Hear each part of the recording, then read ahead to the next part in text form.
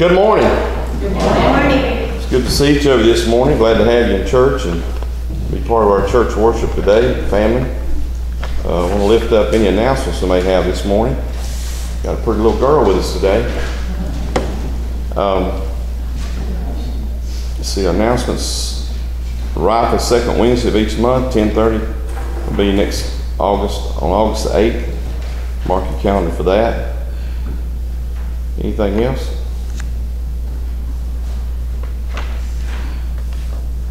Some of you I heard was petitioning me for rain, wanting to pay me a little extra for rain. I have nothing to do with that. That's kind of funny though. I looked up here and I saw my envelope for my check and I thought, wow, they really are going to pay me for another.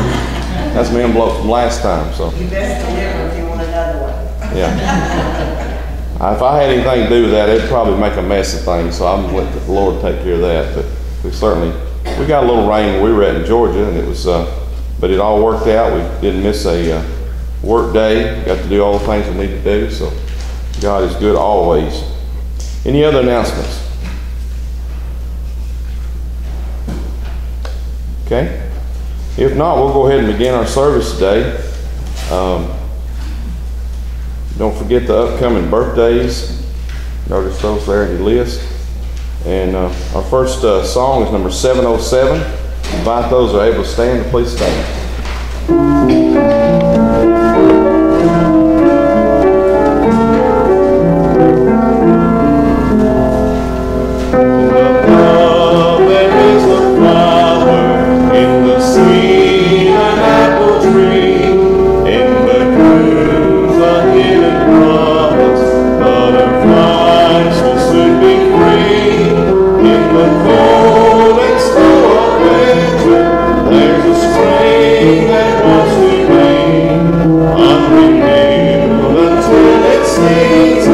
Something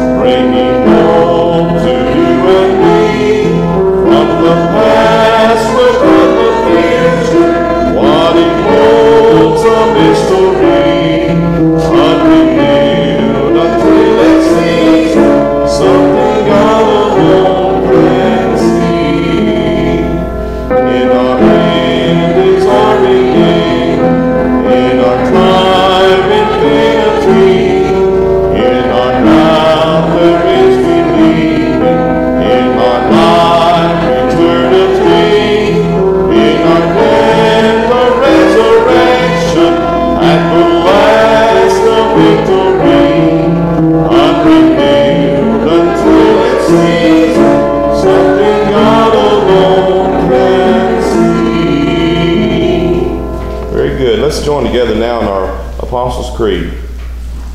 I believe in God the Father Almighty, maker of heaven and earth, and in Jesus Christ, his only Son, our Lord, who was conceived by the Holy Spirit, born of the Virgin Mary, suffered under Pontius Pilate, was crucified, dead, and buried. The third day he rose from the dead. He ascended into heaven and is seated at the right hand of God the Father Almighty. From thence he shall come to judge the quick and the dead. I believe in the Holy Spirit, the holy Catholic Church, the communion of saints, the forgiveness of sins, the resurrection of the body, and life everlasting. Amen. You may be seated.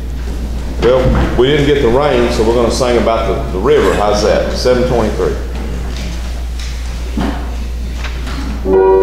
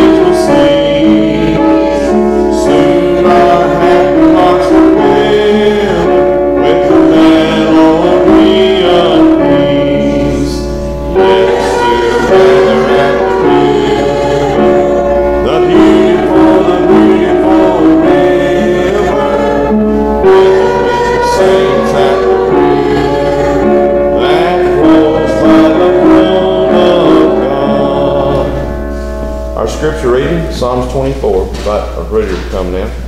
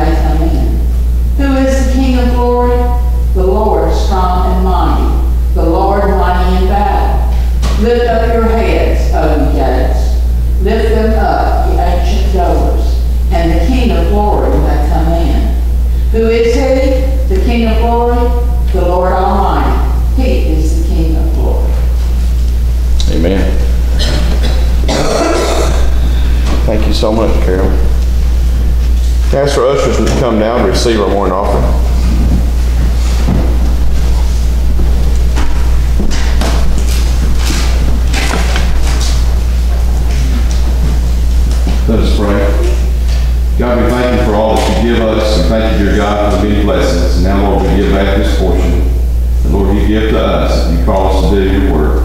Now, Lord, bless the gift and the giver. We thank you in the name of Jesus. Amen.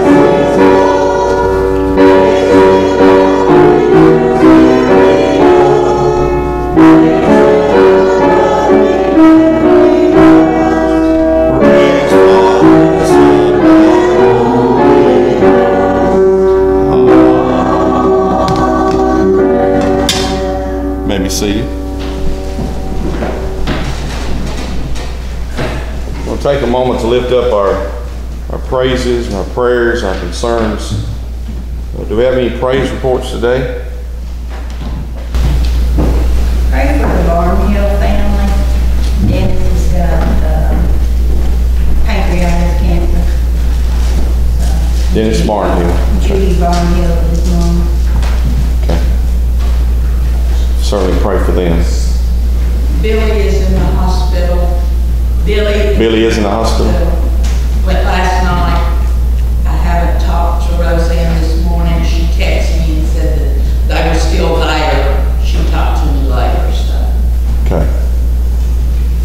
in our prayers. And Roseanne. Anyone else? I have family coming today from Michigan and Illinois, and they're going to be there four days. So. Is that a prayer or concern? a little both, maybe. Okay. Do we need to call you ever saw this? Say we need you to come to town or something? Please.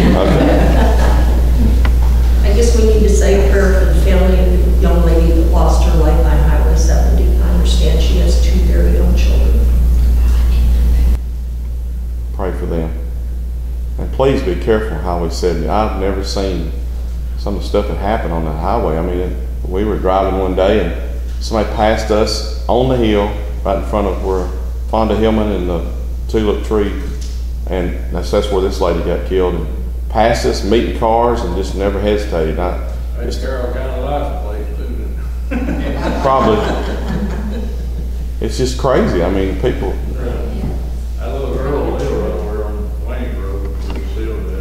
We uh, were on the trip this time, and we pulled out to uh, leave Walmart, just like the mark. We had a Walmart market, a little small place just above the church, and we pulled out. Everything was clear. I wasn't driving. Miss Jean was, and she's a good driver.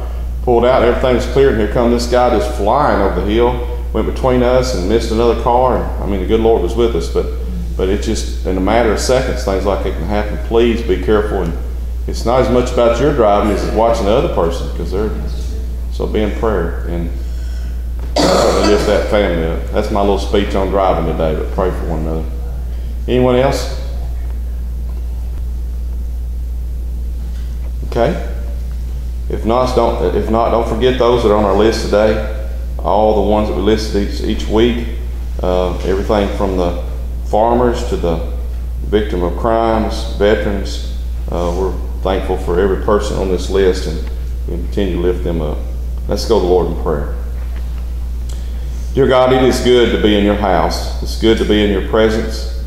You are there for us each time we lift up our voices. You know in our hearts what we need before we ever speak. We thank you, dear God, for all the blessings we received already this morning. Thank you for the wonderful music and musician. Thank you for those who have sang and listened. Thank you, dear God, for those that in some way have been part of this uh, service, reading of Scripture, sharing the good news. God, we thank you. And we pray for every person on this list. We pray for those in the hospital. We pray for those that have lost loved ones. God, give us your coverage of, of protection and be with us each day. And God, as we pray together, let us remember the prayer you taught us to pray. We join together. Our Father, who art in heaven, hallowed be thy name. Thy kingdom come, thy will be done, on earth as it is in heaven. And give us this day our daily bread, and forgive us of our trespasses, as we forgive those who trespass against us. And lead us not into temptation, but deliver us from evil. For thine is the kingdom, and the power, and the glory forever. Amen. Today's reading uh, is from Ephesians chapter 1, verses 3 through 14, as we think about forgiveness. And let us hear God's word. Blessed be the God and Father of our Lord Jesus Christ, who hath blessed us with all spiritual blessings in heavenly places in Christ, accordingly as he hath chosen us in him before the foundation of the world, that we should be holy and without blame before him in love having predestined us to the adoption of children by Jesus Christ Himself, according to the good pleasure of His will, to the praise of His glory, of His grace, wherein He hath made us accepted in the Beloved, in whom we have redemption through His blood, the forgiveness of sins, according to the riches of His grace, wherein He hath abounded toward us in all wisdom and prudence having made known unto us the mystery of his will according to his good pleasure, which hath purposed in himself, that in dispensation of the fullness of times he might gather together in one of all things in Christ, both which are in heaven and which are in earth, even in him, in whom also we have obtained an inheritance, being predestined according to the purpose of him who worketh all things after counsel of his own will that we should be to praise of his glory, which first trusted in Christ, in whom ye also trusted, after that ye the word of the truth, the gospel of your salvation, whom after that you believe you were sealed with the Holy Spirit of promise, which is the earnest of our inheritance, and to the redemption of purchased possession, and to the praise of his glory. This is the word of God for the people of God. I want us to hear the verse, verse 7. It says, We have redemption through his blood, the forgiveness of sins. This to me is one of the most treasured gifts that God gives us. He gives us forgiveness. And he reminds us to not only uh, receive this forgiveness, redemption, through his blood, but also we are to forgive one another. In one part of the scripture, I know Jesus was asked how much, how many times should we forgive our brothers or sisters? And he said seven times. He said, no, not seven, but seven times seven. And that for us as humans is hard, isn't it? When someone just uh, does you wrong, it's hard to say, I forgive you. Matter of fact, in the South, instead of forgiving, we say, bless your heart. Amen? That's pretty much what we say. I'm not going to translate that to anybody, but you know what I'm saying. And, and so it's important for us to, to have forgiveness. What would life be like if there was no forgiveness? Can you imagine the hatred we'd have toward one another? The anger we'd have, we'd never be able to, to be able to associate with others because somebody, somebody did something wrong to me, so therefore there's no forgiveness, there's only vengeance. And I think that's what happens many times, and we see the, the gang fights and some of the things that happen around society. Uh, we see families divided. Uh, people never speak to each other again for, for the rest of their life. It's because they have not embraced the understanding of forgiveness. Forgiveness is when you uh, let not that which is in front of you be a stumbling block. You allow that to be removed, and you allow a free path that you still have communication. Uh, God forgave us. He forgave us in a miraculous way. He did it in a way that's a bigger scale than we ever thought before. He allowed His Son Jesus to come and to die for our sins. What a great gift.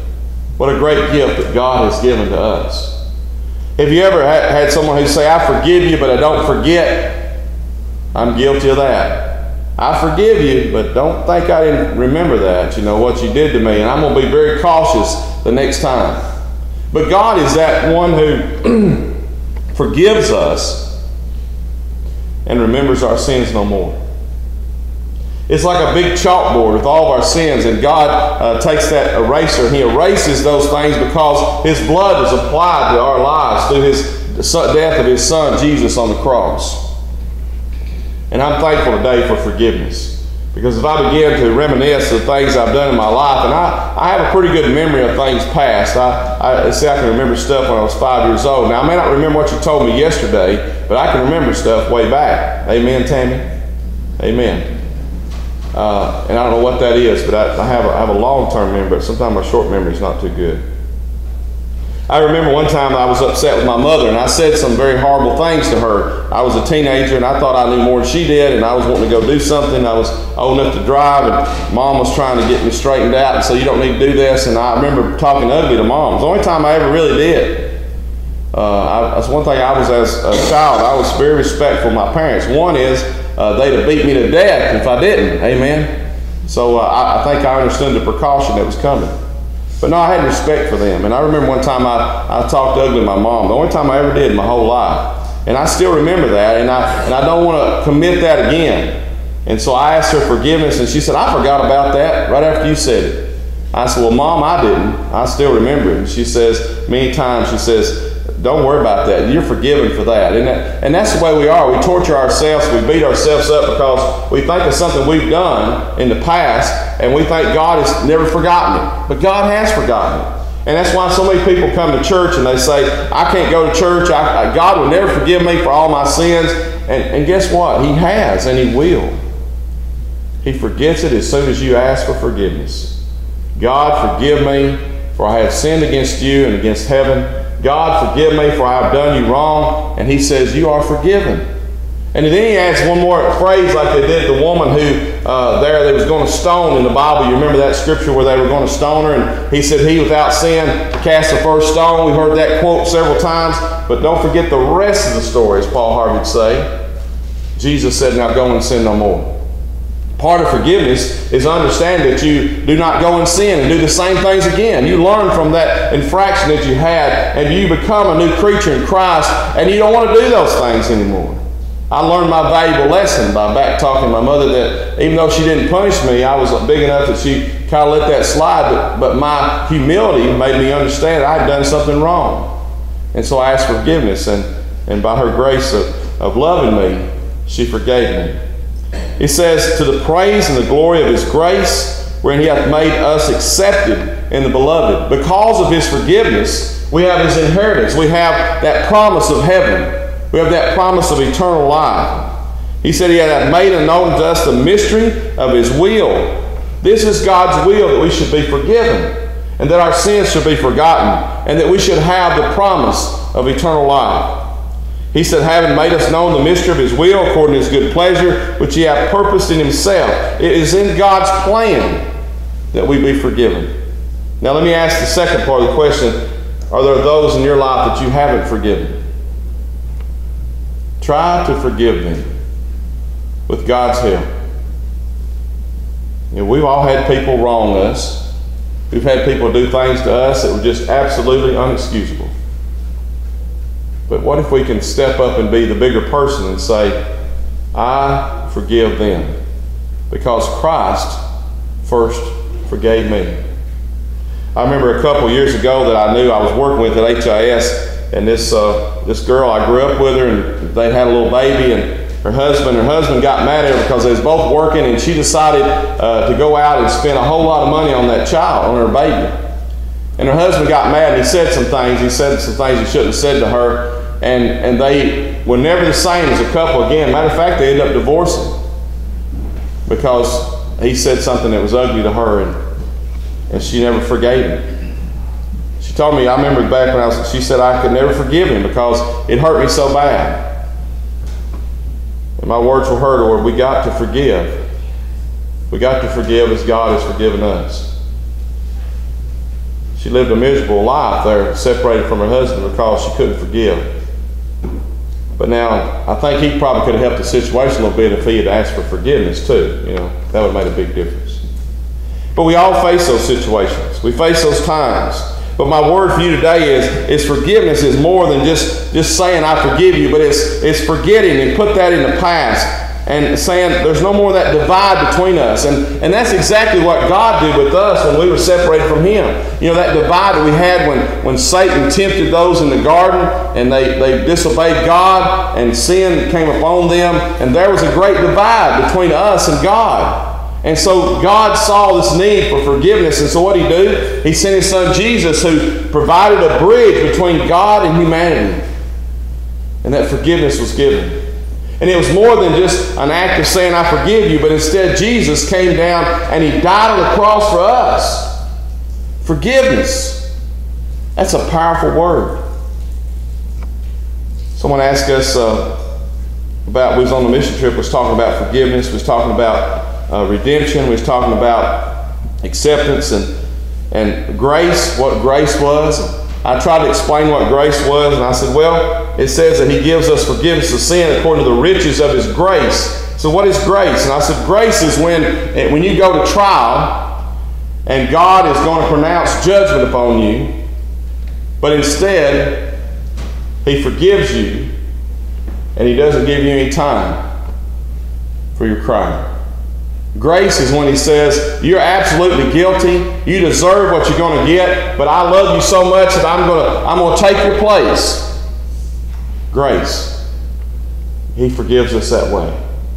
Grace is that we don't deserve. Grace is that that we can't expect because God loves us. He gives us grace. And He gives us forgiveness of our sins.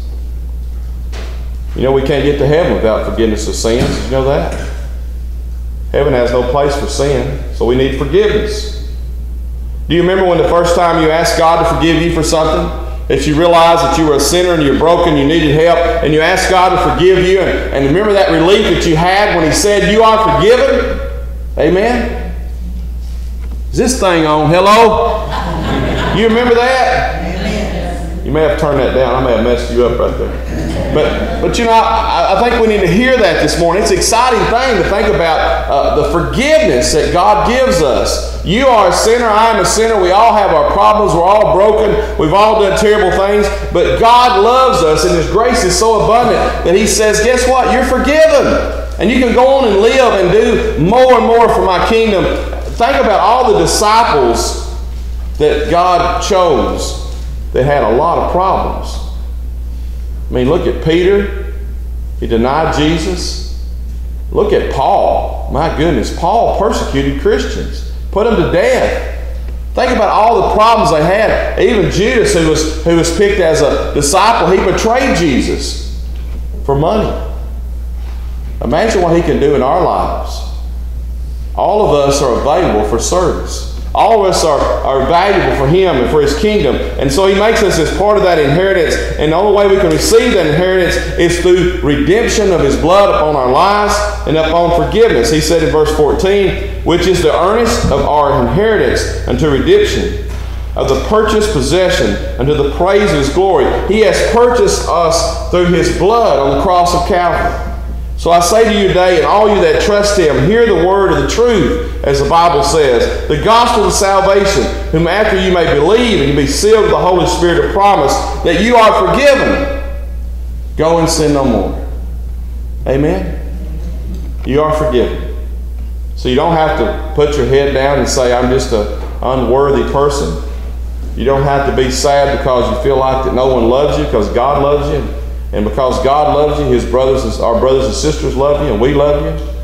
And even though you've been broken, God is a great healer. He can bring you back.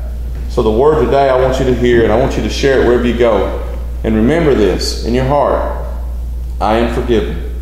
And because I am forgiven, I can forgive you and forgive others.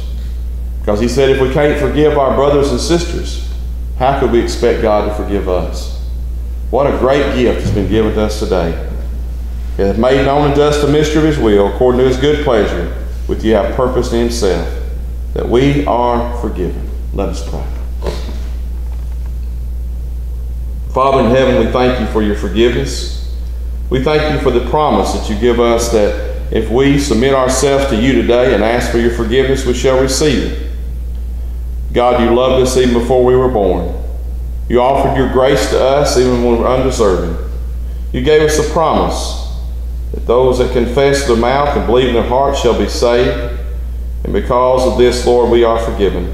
When we confess that we have sinned against you in heaven, we have sinned against our brothers and sisters, and Lord, we're not worthy of the forgiveness we get, but yet you step out in faith, in our faith, and you give us forgiveness. Now, Lord, if there's one here today that does not know you as Lord and Savior, Lord, they need to walk a little bit closer with you. I pray, God, they realize they have been forgiven and Lord, they can walk in a new life. I thank you, dear God, for your word. I thank you, dear God, for your promise. And I thank you for your grace of forgiveness. In the name of Jesus Christ, we pray. Amen. What a great word of commitment to song that says, Oh, Master, let me walk with thee. And certainly, if we embrace the understanding of his forgiveness, we're able to walk with him daily. Let us stand and sing number 430, those who are able. Let us sing together. If you have a need this morning, I invite you to come. This altar is always open for you to come and pray. Number 430.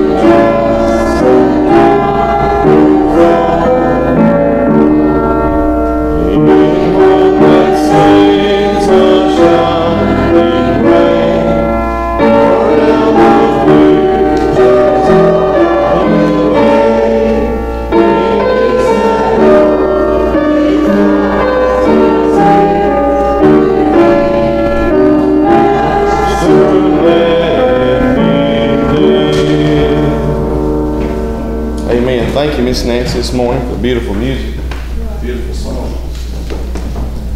I'll tell you more about our, our uh, mission trip as I begin to get my memory back. Uh, we did have a great time. Uh, some of you got to see some of the pictures we did. Uh, had posted on Facebook, and uh, I want to tell you, it was just a blessing uh, to help some of the folks that we were able to help. And got the kids encouraged, they're gonna start doing some more things with rifles, some different ones, and I'm excited about that. Um, We worked hard, uh, we represented the church well, kids were great, very well disciplined kids. Uh, we had a lot of fun, uh, but to see the, and you know, working at rifle, you see the face of those who desperately need help, and you're able to be a hand of God to them. And what a blessing that is, and we got to see that. And I'll give you more details about that as we go, as like I said, as I remember more about it.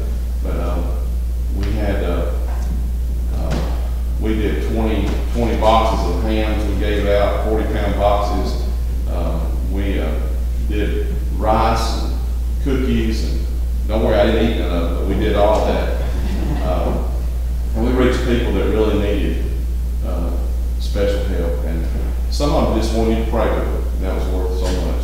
Uh, just extend a hand or maybe give them a bottle of water. But my forgiveness today is, is God forgive us that we don't always see those folks because they're there all around us. And we need to pray to forgive one another for not reaching out. But thank you again for being here this morning.